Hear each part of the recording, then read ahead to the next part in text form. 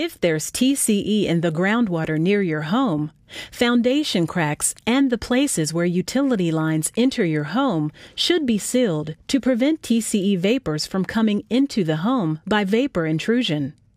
Sump pumps may also need to be sealed. Adequate ventilation will help reduce the amount of vapors in your home.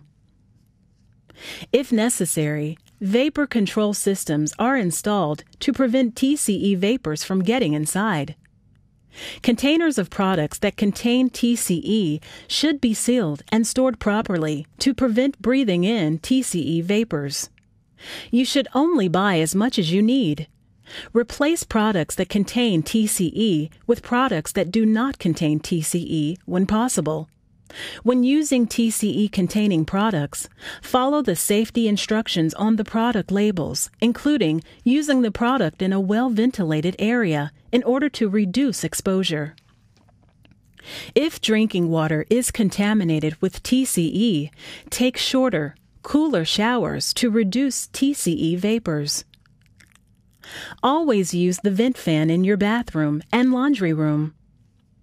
In certain cases, a filtration system on the main water supply to your house may be needed to remove TCE.